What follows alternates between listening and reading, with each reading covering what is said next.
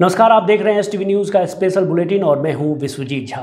उत्तर बिहार का एक ऐसा जिला जो तारीखी एतबार से न केवल हिंदुस्तान में, बल्कि विदेशों में भी जाना जाता है। महात्मा गांधी की कर्मभूमि और जॉर्ज ऑरवेल की जन्मभूमि। चंपारण का अपना एक गौरवशाली इतिहास रहा है। ऐसे में हम पूर्वी चंपारण जिला मुख्यालय मोतिहारी की बात करें तो यह अपने आप में काफ़ी खूबसूरत शहर है।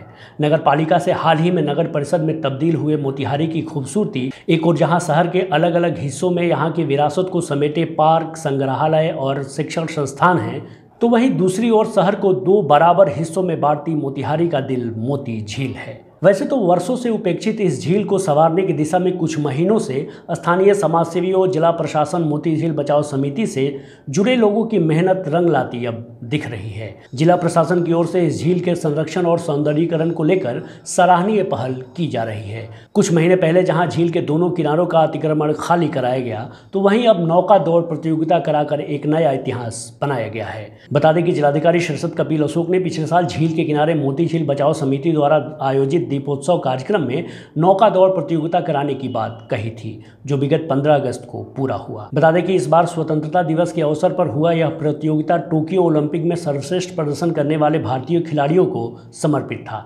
आज़ादी का अमृत महोत्सव के शुभ अवसर पर स्थानीय रोइंग क्लब में जिलाधिकारी शीर्षद कपिल अशोक एवं पुलिस अधीक्षक नवीन चंद्र झा की उपस्थिति में झील में 500 मीटर नौका दौड़ प्रतिस्पर्धा कार्यक्रम में ड्रैगन बोट से प्रतियोगिता कराया गया। मोती झील में जिला प्रशासन और सामाजिक संगठनों के प्रयास से वाटर स्पोर्ट्स को बढ़ावा देने के लिए हर संभव प्रयास किए जा रहे हैं। अंतर्राष्ट्रीय खिलाड़ी चंदा कुमारी के नेतृत्व में ड्रैगन बोट अभ्यास क्याकिंग एंड केनोइंग अभ्यास किया गया। जिला के प्रतिभावान खिलाड़ियों को वाटर स्पोर्ट्स की ट्रेनिंग दी जा रही है।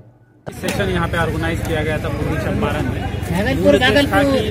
स्पोर्ट्स वाटर स्पोर्ट्स में जो है यहाँ पे सर्च और जो क्लब था वही क्लब करना। और मैं सभी पूर्वी चंपारण वासियों को आज आज़ादी के इस अमृत महोत्सव में धन्यवाद देता हूँ कि उन्होंने काफ़ी सक्रिय भूमिका यहाँ निभाई है और सभी तरीके के क्लब जो सामाजिक गतिविधियाँ करते हैं समाज के प्रबुद्ध लोग उनको भी मैं धन्यवाद देता हूँ कि इन्होंने बढ़ चढ़ कर इसमें हिस्सा लिया। नौका दौड़ जो हुआ उसके बारे में कयाकिंग ड्रैगन बोट रेस यहाँ पे हुआ है। कयाकिंग में के वन के टू और के फोर का भी रेस यहाँ पे किया गया है प्रैक्टिस सेशन तो आ, अभी आगे आने वाले समय में कैनो और रोइंग का भी हम इसमें स्टार्ट करने जा रहे हैं। थैंक यू तमाम खबरों और डिबेट्स के लिए आप बने रहिए एस टी न्यूज़ के साथ। नमस्कार।